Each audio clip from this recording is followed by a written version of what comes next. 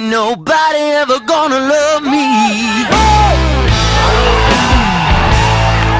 Bangalore has been extremely impressive, both sides of the football. We have everything. We have good receivers, good quarterback, running back, linesman, linebacker. Everyone's really good in our team. Like there's no, there's nothing like we don't have a good player in any position. Roshan Lobo, the running back, is one of the best players in this league. If I had to start a team and and build around a one player, it would probably be Lobo. He doesn't look big, but he's really smart and he's fast. The best player till now in Bangalore Warhawks is Mr. Roshan Lobo.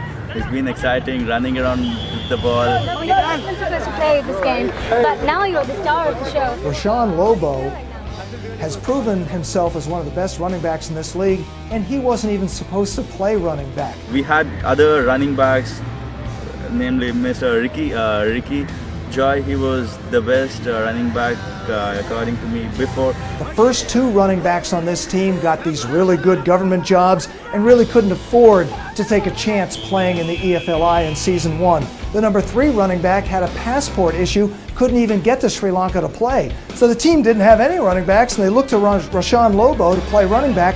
And before we got to game one, the coaches told me this guy's going to be a star. And he has become a huge star. So I'm here with Lobo, who uh, scored both touchdowns, plus he has 129 yards in this game. I, I feel really good to be in Bangalore Warriors because it's the best. I think it's the best in the, the whole league. The Bangalore Warriors. I feel proud to play with them because I know like our team won't give up and our team's the best. Lobo's fast. I mean, I- I'm quite sure he can even throw the ball. You know, I'm a linebacker, but he, you know, I'm, I'm weighing like, I don't know, 30 kilos more than him, and he's probably uh, just as good of a linebacker as I am. He's an extreme athlete. To tell you frankly, he's an, a great athlete. Uh, he's a great football player, and uh, to be a great football player, he needs to be a great athlete. Lobo is kind of like uh, Bo Jackson, man. You know how Bo Jackson plays all those sports. Well, Lobo knows football. Lobo knows knows defense. Lobo knows offense. Lobo knows special teams, man. Him knowing those three aspects of the game makes him a better and um, a better threat in all aspects as well. Clearly good enough to play college football in the United States if he was able to do something like that. The opponent players, they, they, they are worried about him. He doesn't, they don't know where, who, where to tackle him. I just think like well, just don't go near the opponent. Just run to the touchdown. Just try to escape. Try not to get hurt. Get get on the face of the opponent. I, I just like going on them, smashing on them. Just get my shoulders down, go on them.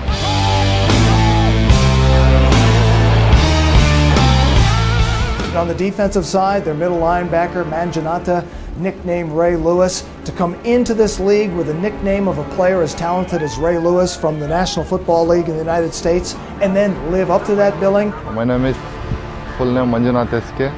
In first name in Ray Luis. Uh, Ray Lewis, man. When we first met him, I went to Bangalore for for you know the first camp. I just see this guy, this skinny dude, and I'm like, ah, he's no linebacker. But then we put him on defense, and this guy's just tearing everybody apart. I'm like, who is this guy? I like you hit hard. A linebacker, Ray Lewis, as you know, he's really good. He hits, he gives some big hits. He's the guy who always likes to, you know, make hard tackles. Yeah, that's that's the only thing. Hit hard, hard tackles. That's about him. Each player knows their strength and weaknesses. That's what we have been training them.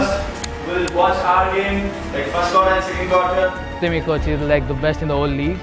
Uh, he is from rugby and he has really good sense of like what is team game, what is a physical game. Before we play a match, he shows us many inspirational videos.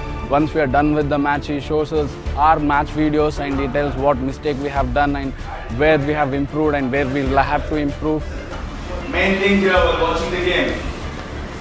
Look at your good things, whatever you have done in the game, and wrong things, whatever you have done in the game. They can learn from those mistakes. They can uh, uh, remember the good things what they have done and continue that in the next game. If you played well, he's like, yeah, that's good. You got to get better than that.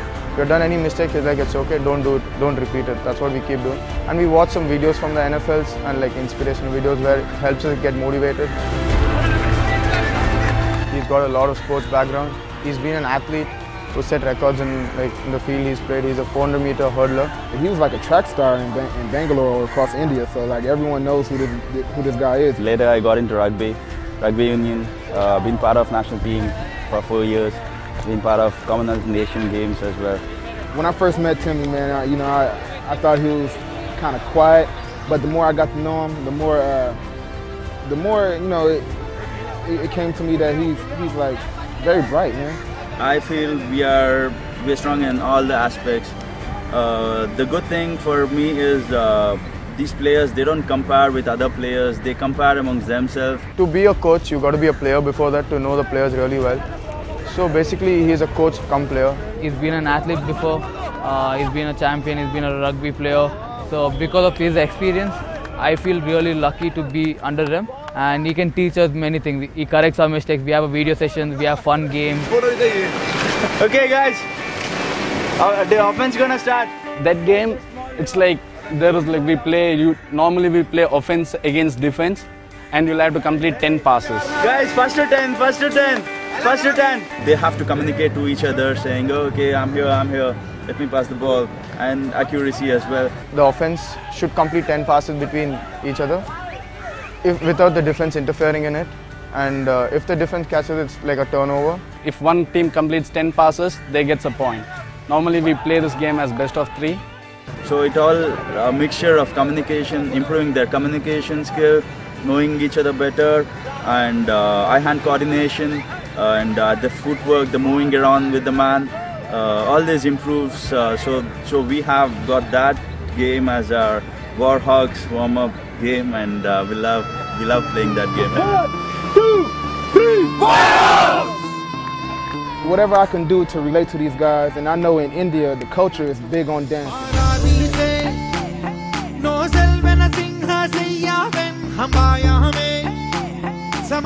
So if I can kind of incorporate some something that uh, that relates to them, then I will. So you know, I, I created a this this this dance step. is called the side step swag. So you know, you started with the two step, and I always tell these guys that you just gotta, you know, you gotta move your feet. You can't stop moving. Next dance move is called side step swag. Side step swag. I come up, the guy try to block me. Oh, I side step on him. Swag it out, baby. Swag it out. I'll show you again. Bam, side step swag. Coach Meech is a really nice guy, and he's I think he's a party kind of guy, so he's always having like fun on the field. He's always dancing around. he gets no girl. He's by himself on the dance floor. All right, but you gotta move. You gotta move a little bit. Bam. Woo. You know what I mean? Coach Meech.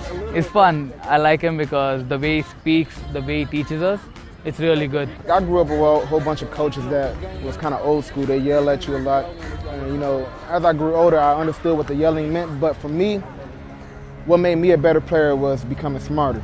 It's not just about hitting in our team, it's about using their brains and playing. It feels really good to be a professional and I feel really good to be the first to play in India because and representing a whole city and a team, fans and family is really good. Bangalore, first of all, the city is amazing. The, one of the few cities that you'll go to in India where you can see the greener, the greenest of the greenest grass out there. Bangalore's a lovely city. It's called Garden City. That's mainly because there's a lot of greenery and everybody loves Bangalore because of the weather. The weather's really pleasant. I think in India, Bangalore's best because it has the best weather, good people, uh, party places. But um, besides that, the guys on the team, man, it's the greatest group of guys you will ever meet. These guys, the players who are representing Bangalore Hawks team, are of different characters. Bangalore people basically are very friendly. They have no attitude. They have nothing to like. They are no ego problems. They talk to everyone friendly and they have nothing to like show off or something. They just talk to everyone friendly, no matter how big they are. In Bangalore, the good thing is that there are people from everywhere in, from the world. They're like in India, especially Indian, the North Indian, South Indian, everyone's in Bangalore, and even foreigners are there. So it's like we people from Bangalore adapt to everything.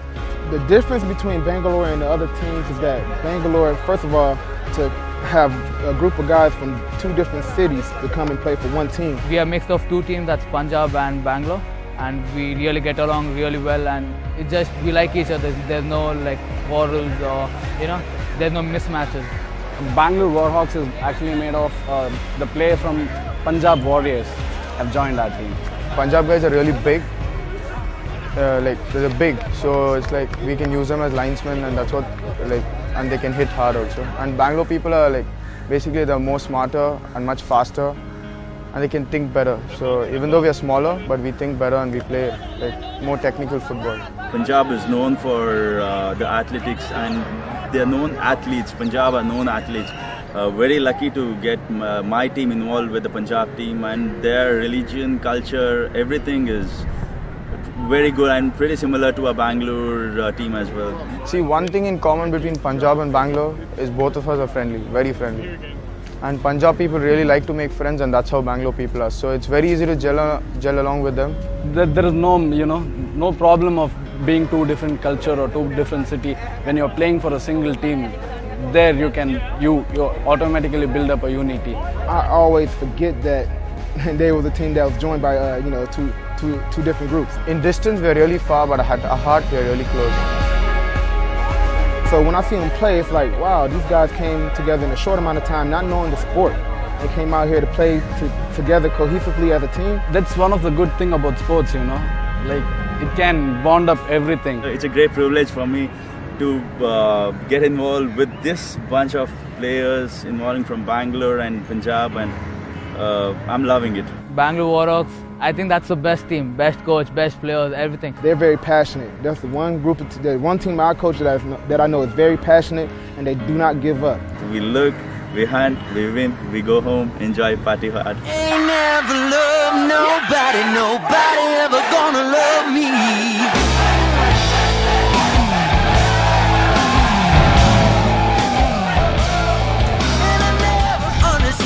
he's so good. Got a case of jealousy.